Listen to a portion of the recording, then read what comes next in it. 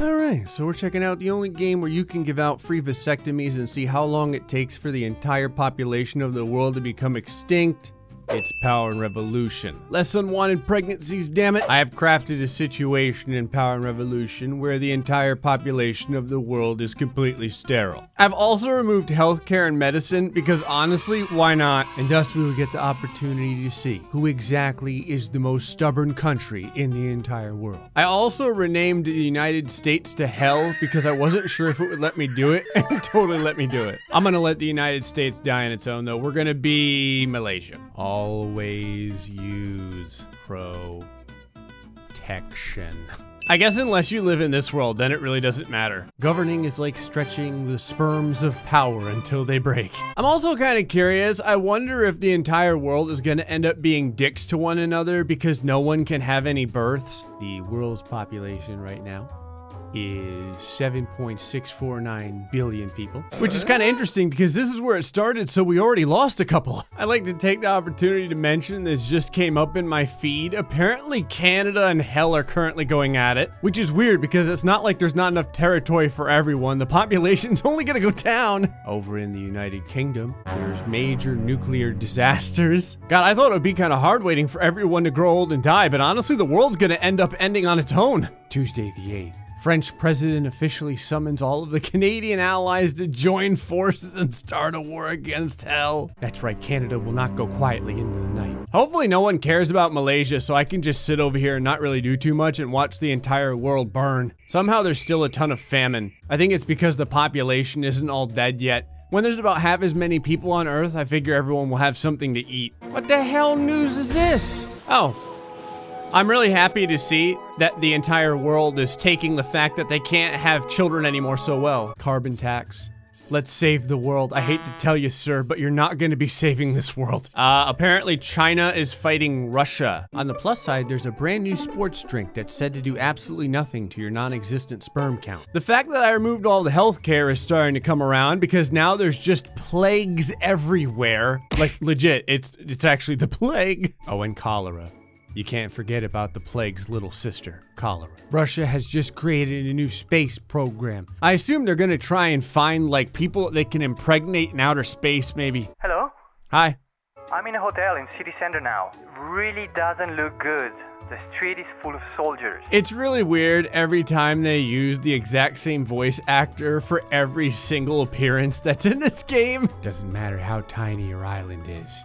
You're getting plagued. There's about 150,000 people dead between Canada and hell right now. I like how like everything is so bad. What the hell? Oh, I just got executed in the national square.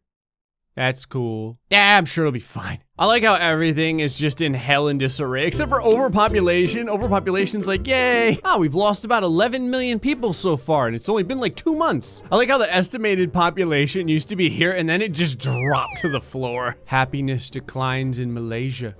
But why? Uh, so I got bad news. Ottawa's currently on fire. Actually, a lot of Canada's stuff is just on fire. Turkey declares war on China. Didn't see that one coming. Japan and Russia, why has everyone gone completely batshit crazy? Everyone's like, it's the end of the world anyway. I gotta get those last few kidney punches in. There's plague epidemics everywhere. So the original estimated population for 2100 used to be 11 billion. Uh, it's already down to 8 billion. I'm really hoping that we don't make it this far. Apparently nuclear conflict is up to 108%. lives. God, everything's on fire too. It's like the less fertile you are, the more flammable you are. Epidemic, you don't say. Over in the China-Russia conflict, uh, half a million people are currently dead. Slow internet speed, video game distress. Prime Minister, this is intolerable. It's impossible in this country to participate in esports competitions because of our low-end connection. People are getting constantly kicked off of MMOs. Jiang with the fact that the world is gonna end in like 50 or 60 years, I really appreciate that your priorities are in check. So it's currently the year 2038. Um, we're down to 5 billion people. The estimated population for 2100 is zero. All right, we're on track to total global collapse. To enter a police station is a little like entering the ant hole. Dozens of policemen running in all directions, almost trampling each other. Sometimes without clear goals, in search of a task to accomplish. I have done it. I have created world peace because I have effectively killed anyone who could possibly commit any crimes. So everyone's been beating the hell out of one another for a long time, and Japan is invading Australia. I'm not really sure what happened. Japan was just like, oh, we need all of those succulent Australian resources, all of the venomous creatures. The Canada Hell conflict. After the carnage, pain suffered in silence. Two months after the signature of the peace treaty, life is struggling to go back to normal. That's because the entire population of the planet is like one fourth of what it normally is supposed to be. According to medical services, which don't exist anymore, Beyond the war wounds, the damage caused by post traumatic stress will be felt for many decades particularly for the countless children that no one can have. Japan declares war on Turkey. Please tell me this guy's voice actor is going to be esteemed citizens.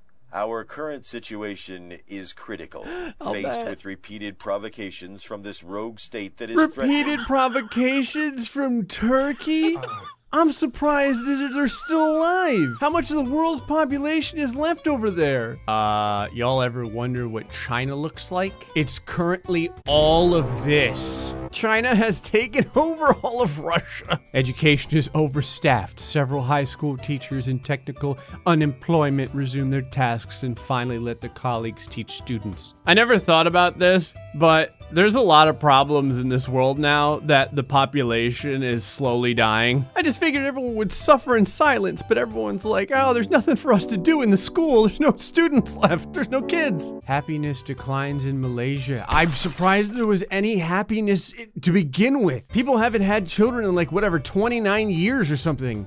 medication purchase. There is no medication. Japan declares war on China. China's getting pretty goddamn big. So, um, in the year 2038, all of your anime will now be in Chinese. I just noticed China has been at war for like 38 straight years.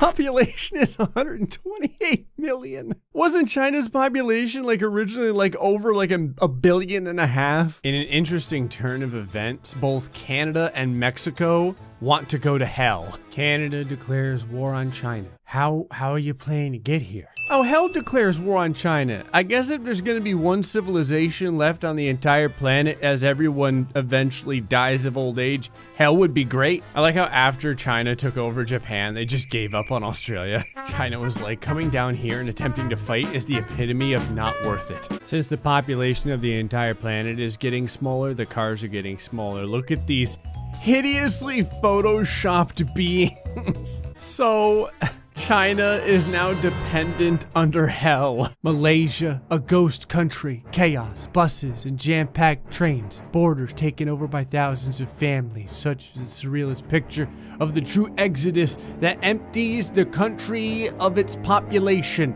How are there jam packed trains? There's almost no one left in the entire planet. Okay, I'm gonna tell you something right now. There's an article about an 11 year old. This is not possible. This child is an alien. If um, you look around the world, you're gonna see a couple of fires. But do you know what you don't see right now? Famine. That's because in most places, there's no one left. There's like negative population in the United Kingdom. I don't really know how, but Australia is now a dependent of hell. Hell is uh, running things right into the ground. In all of China and all the things that used to belong to China, the population right now is 13.3 thousand people in all that landmass. Canada is dependent under hell. Mexico is a dependent under hell. I love how this ad is completely embracing the fact that no one's having children anymore. There's a friggin' skeleton here. He's like sterility for life, bitch. The person with the most gold-plated stereo equipment wins. I didn't think about this. I took all of the medicine the doctors away, but these bastards are creating new ways to become clean. Oh, cool. Gangwei song was shot at dawn because, you know, there weren't few enough people on the entire planet as it is. The last gigantic place on the entire planet that owns everything now is Hell. And in the entirety of Hell, in the year 2057, there are 10,000 people left alive. uh, so I got bad news. France is out of the running. They're completely dead. There's no one left. They did not decide to become a dependent under Hell. Friday the 27th, during the vicious Hell Mexico war. Healing is gonna take time because everyone's lost a father or brother. or son. No one's lost a son. There's no sons left. The youngest person on the entire planet right now is what, like 40 years old? Prime Minister, we have succeeded in perfecting a fragrant fabric, the textile. What the sh is this? Who? Who is creating these crowd movements? There's no one left alive. Molecules of perfume are trapped in these fibers and are liberated from their capsules by a radio wave controlled by a manual remote. Do you want to patent it and to render it commercially accessible to the entire world? Who? Like the 30 other people? Yeah, you know what? Fine. This way everyone's dead body can smell like candy apple or whatever. This is awesome. The Hell Malaysia War, the final death toll in the conflict is zero because there's no one left to die. What the hell? I'ma let you finish. But how the hell is there anyone still entitled left in the planet? Everyone should be dead. American pop star Sydney Crush who is notorious for her often drunken appearances in risque outfits, is back in the headlines upon finishing her performance at a benefit concert for orphans of circus workers. She returned to the stage and interrupted the next group, slamming their music and promoting her own album. I like how any orphans that would be left are like 45 years old. I'd like to take a moment to mention that there is a hurricane named Willie Willie Caesar. All right, everyone, since the world is going to hell in a handbasket, there's actually a brand new toothbrush that helps people be less depressed.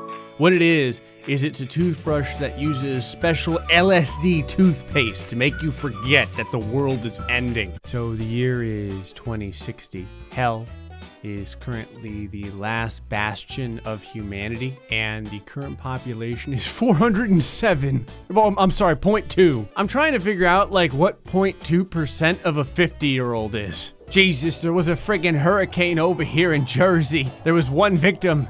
That's like you know, almost the entire population of the world. So I got good news and I got bad news. The good news is is that we solved unemployment because everyone has a job now. The bad news is we solved unemployment because everyone's dead despite somehow still getting like updates and stuff like that. The world population as of November 1st, 2060 is now absolutely nothing. Every single person is dead. So with no health care, uh, people made it to about 40 almost. We also solved world hunger. The last guy to eat like a bowl of Apple Jacks was like, oh, this tastes like loneliness. All right, we did it. China beat up most of the world. Hell came in and took everything out from under them, and then everyone died. 2060. That's as far as we're going to get unless everyone keeps having sex and having children. Hey, folks. Hope you enjoyed this episode of Power and Revolution. Till the next time, stay foxy and much love.